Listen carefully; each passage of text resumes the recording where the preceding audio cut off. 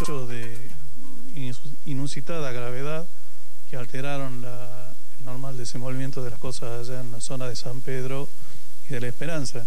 Entiendo que están en el marco de manifestaciones de protesta en contra de algunas medidas como el hecho de la venta del ingenio, entre otras cuestiones, porque eso tampoco lo tenemos muy claro hasta ahora, porque esta investigación se inició ayer.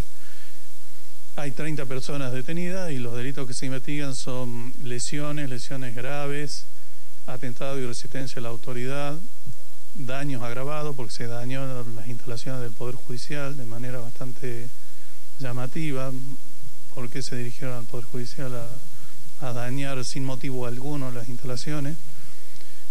Eh, también los delitos de instigación a cometer delitos por algunos cabecillas que también estarían arrestados.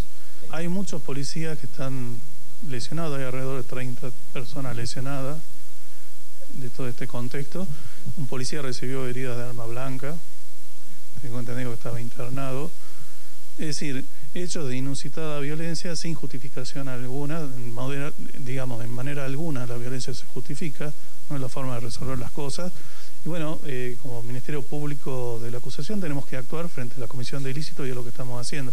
Esto da lugar a una investigación, se secuestraron celulares, esto de las bombas Molotov da la pauta de que esto era una actividad organizada y planificada cuidadosamente, de otra manera no existiría eso.